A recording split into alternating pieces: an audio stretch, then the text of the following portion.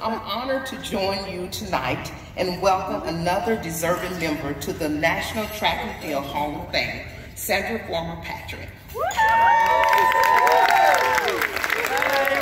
I'm gonna tell you a little story about Sandra. Oh, I knew it was coming. I was running track at the University of Tennessee, and so Sandra she was dating her husband, David Patrick. Oh, so she thought that she that. was gonna come on University of Tennessee Lady Vol track and just take over. So I went to Terry Crawford. I said, Terry, we are not gonna allow Sandra to come on our track and take over. She's not even a, vol, a, a lady Vol. So Terry said, okay, Sharif, I tell her come at five o'clock. That's what happened with Sandra.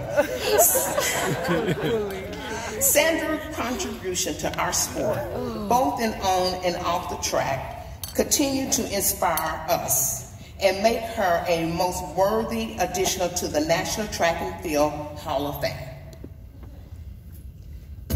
Wow. Sandra Farmer Patrick really? believed that if you look good, you're happy.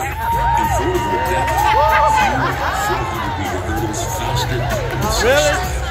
What do you think of this outfit of Sandra Farmer Patrick? Sandra Farmer Patrick wearing what one might call an outrageous outfit today.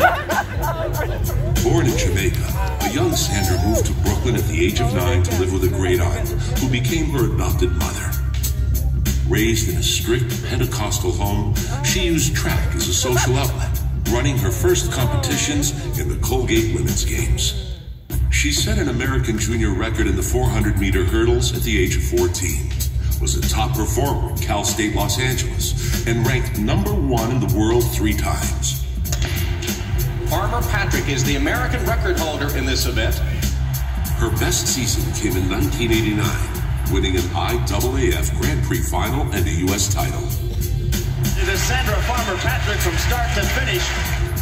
Farmer Patrick was impossible to miss often playing homage to her church upbringing by wearing skirts during races.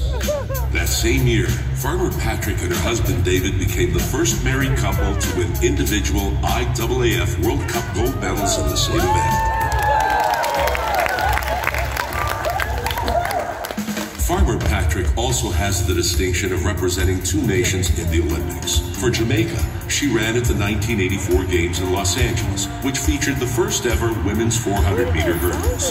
For the United States, she won a silver medal at the 1992 Games in Barcelona. The following year, at the 1993 World Championships in Stuttgart, Germany, Farmer Patrick had a rematch against the Olympic champion Sally Gunnell. An astonishing performance by both athletes, Farmer Patrick challenged her competition to a fast pace, which led to a world record for Gunnell and an American record and silver medal for Farmer Patrick. Now a devoted mother of two, the Hall of Famer continues to serve USA track and field even after three decades, giving back to the sport that made her a star.